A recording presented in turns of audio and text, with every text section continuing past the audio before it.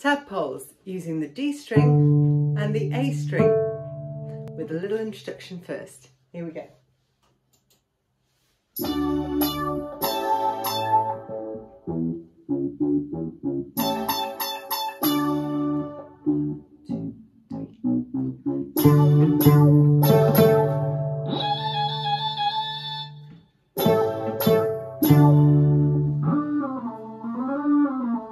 Thank